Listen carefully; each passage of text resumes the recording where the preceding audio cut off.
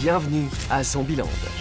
Oh, c'est vraiment terrifiant, mais totalement irréaliste. Par le réalisateur de Venom et les scénaristes de Deadpool. Lève le zombie La comédie familiale de l'année. C'est ton père? Ah Crotte Retour à Zombieland.